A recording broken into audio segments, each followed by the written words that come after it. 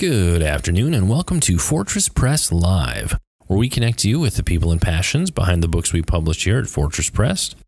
Our guest today is Will Bergkamp, and we'll be talking about the work he does serving as both the managing director and publisher for Fortress Press. Will, thanks for being a part of this episode of Fortress Press Live. Thank you very much. Take a few minutes and give us some insight. What does a publisher and managing director actually do? I've come to realize that managing director is a title that you see far more often in the UK and in uh, in those contexts. But in fact, it means that uh, we have a largely consolidated business. The editors at Fortress Press report to me, but so does the production team, the sales team, and the marketing team.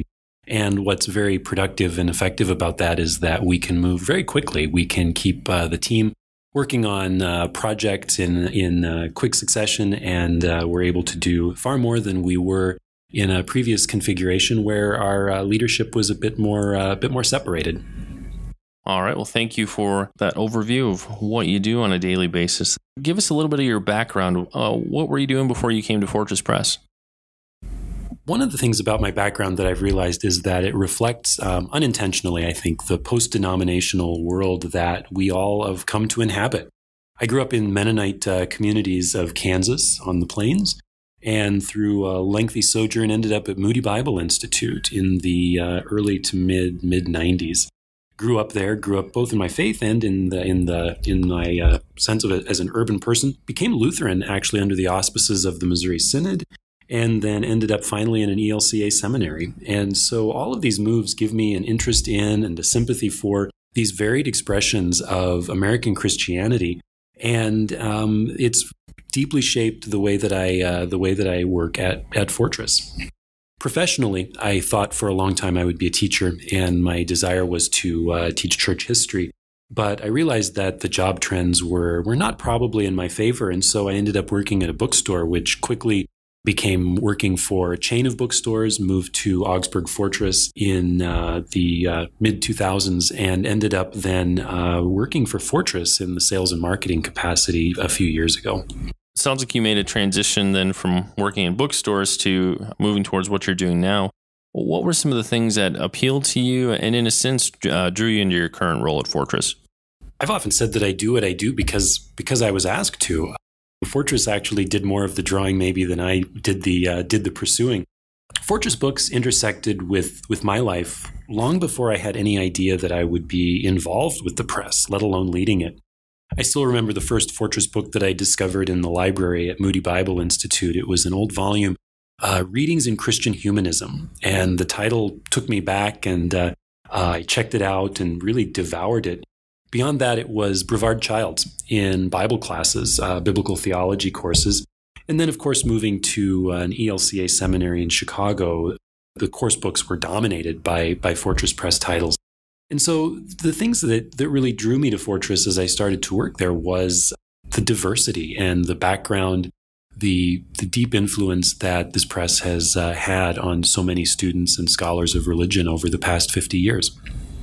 Now, with the kind of work you do, uh, I think you probably spend a lot of time with your head down, uh, reading and thinking quite a bit. So I'd be curious to hear on a day to day basis, what are the things that give you passion and drive for the work you do?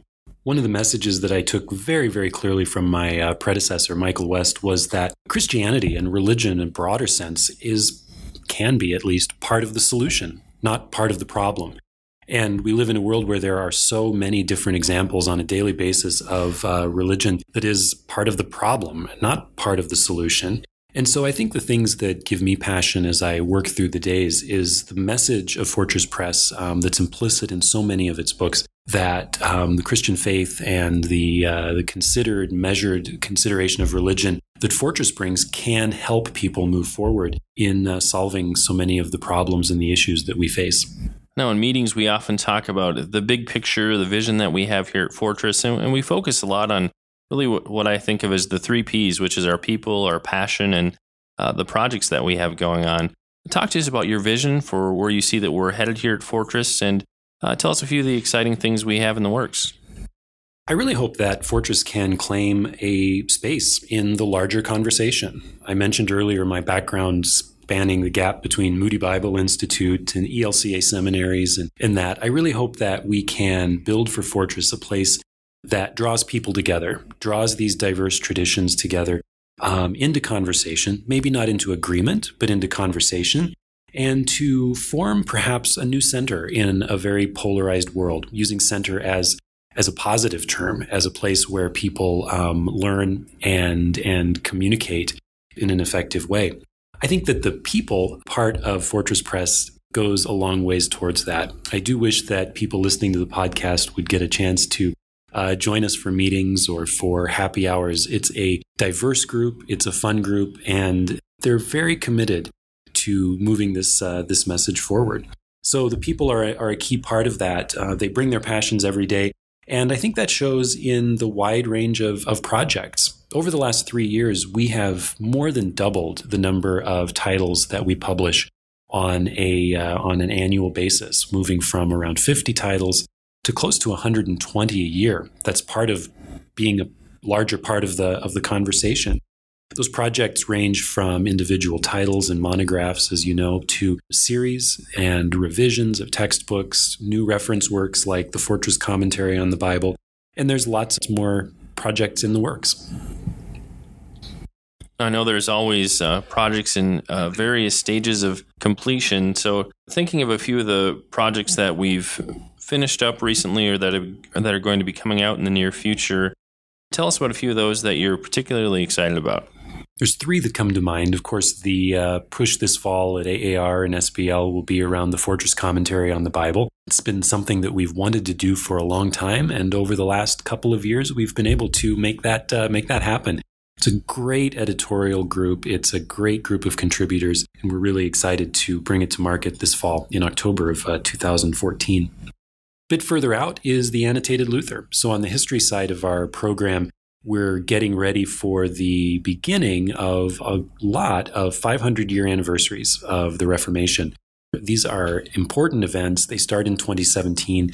And so the Annotated Luther will be a six volume project, two volumes next year in 15 and forward from there, that will bring Martin Luther's writings to life in our day.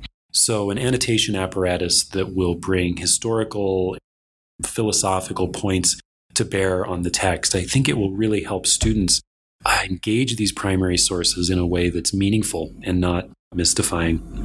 And then lastly, uh, first of the Foundations for Learning volumes come out this fall, the first of a series that we hope goes for quite some time.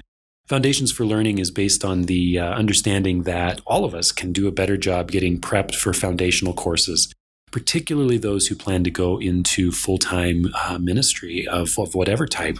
And so these books will help students orient themselves to the courses that they will take, be it church history or Bible or theology. And they'll help with understanding and framing that experience too.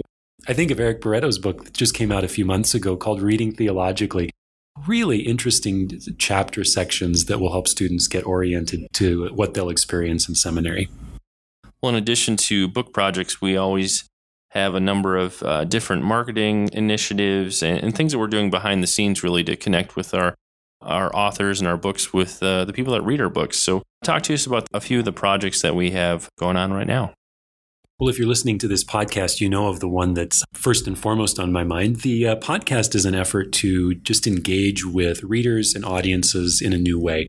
I enjoy listening to a range of podcasts on the commute home most evenings. And so, with Shaun's expertise here, it was an opportunity to do that for Fortress Press. And so, whether it's author interviews or a chance to get to know the Fortress team and the work that they do, or uh, interviews or various different uh, aspects of events, it's uh, something that we're very excited about. The other development is the rebuild of our website. It doesn't sound like that exciting of a project, but in fact, websites are hugely important for, for publishers. And we've just uh, received the approval to begin work on a complete rebuild of our website.